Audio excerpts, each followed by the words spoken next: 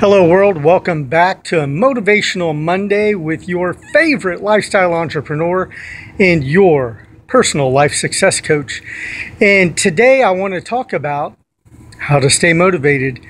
Let me tell you something. If you go out of your way to say encouraging things to other people, it'll help you stay motivated because you see, encouragement is the fuel that motivates you and others. And when you're motivating other people and encouraging other people, that positivity vibrates within your soul.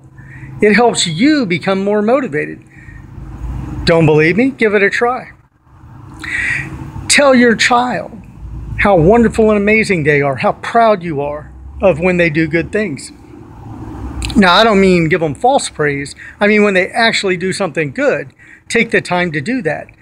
And not only are you going to see a change in your child, you're going to feel a change within that will keep you motivated and keep you inspired.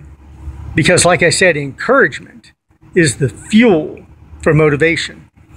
All right, guys, that's all the love I got for you today. Thanks for watching Motivational Monday. If you feel you got some uh, value out of this uh, video, go ahead and uh, kick that share button and uh, punch the like button. Leave me a comment in the comment section below, and uh, I'll look forward to seeing you next time here on Motivational Monday.